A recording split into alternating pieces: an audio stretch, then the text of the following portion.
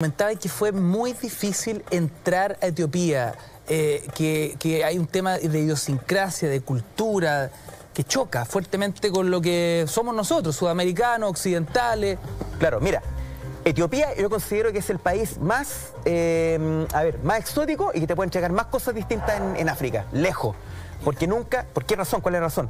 Etiopía nunca fue invadida, ni por portugueses, ni por franceses, alemanes, ingleses, nada. Nadie estuvo en Etiopía, por tanto se conserva tal como es y es el único país que es cristiano ortodoxo, con unas costumbres impresionantes, porque todos sus vecinos son islámicos. Y nosotros no podemos entrar a Etiopía si no es con una visa gestionada o en Washington o en Brasil. Y nosotros estábamos en... Esa onda. Sí, y tú tienes que llevar, ir para allá y presentar los pasaportes. Una burocracia brutal. Claro, y, y es súper difícil entrar. Entonces nosotros, yo dije, ya, lleguemos a Egipto, ahí en la Embajada de Etiopía en Egipto sacamos la visa, no hay problema, sí, cómo nos actualizar la cosa. Y vamos y no nos dejaron. Ya. Y hablamos nosotros con eh, Fernando Salaquet, que es el embajador de Chile en, en Egipto, que nos atendió súper, súper bien, un caballero con nosotros.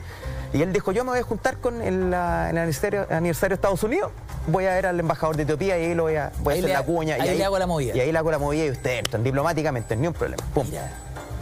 No pasó nada. no pasó nada tampoco. Chuta, llegó Y ustedes están ahí con zapatillas Chuta, clavos, No, no, listos claro, estamos listos, estamos felices, no, estamos ok. Y llega y me, y- y me dicen ahí, bueno, ¿sabéis qué? La posibilidad de sacar la visa en Uganda o en Kenia. Ya. Ya. Y yo dije, ya, pasaje a Kenia nomás, porque tenemos que ir a Etiopía. Tenemos que ir. Ya. Vamos, y justo vamos a comprar el pasaje. No, no, tenéis que tener dos años de residencia mínima en Kenia. Oh. Mínima. Ya, en Uganda. Vamos con cuña, ¿cachai? con, un- con un, con un, qué sé yo, con una, eh, bien, bien, con un lobby bien bueno. Tampoco pudimos en, en- en Uganda. Y viene una chica que trabaja en una ONG, la Valentina, y dice, oye Lucho, yo conozco, yo tengo un caso de unos chilenos que no los dejaron entrar, pero hicieron una movida y entraron.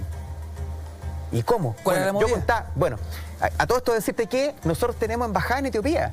Es impresionante, o sea, son muy pocos los países que tenemos en África embajada y nosotros tenemos embajada en Etiopía. Yo decía, ¿cómo tenemos una embajada en Etiopía y los chilenos no podemos entrar a ese país? O sea, podemos entrar, pero ¿cómo tenemos que ir a Brasil? ¿Cómo? ¿Cómo es posible? Claro. ¿Cómo tener un embajador ahí? O sea, ¿de qué sirve? ¿Cachai? Si querer ir a Etiopía y, y no te prestan ayuda, no te dan... O sea, tuvimos que hacer una gestión y finalmente nos hizo entrar un, ¿cómo se llama? Un tipo que tenía una agencia de turismo que conocía a la Valentina y ese tipo hizo una gestión que nosotros íbamos a, a- a- tener un paquete turístico que convenía para el país, para ingresos, qué sé todo, y ahí nos dejaron entrar. Contratando una agencia. O sea, lo que no pudo hacer la diplomacia, lo que no pudieron hacer los embajadores, Lo hace un negocio. teniendo nosotros una embajada en Etiopía, no sirvió de nada. O sea, eh, pucha, me trataron súper bien, pero desafortunadamente quien me hizo entrar fue un, un- un- un guía de turismo. Oye, qué particular que sea un país cristiano ortodoxo. ¿Qué, qué onda las iglesias, por ejemplo? Mira, ¿sabéis qué? Ocurre algo bien especial. Tú vas, eh, lo que pasa es que ahí en, en- en una iglesia de, de Etiopía, al norte, en Axum, se supone que está el arca, el arca de la alianza, donde están las piedras con los diez mandamientos.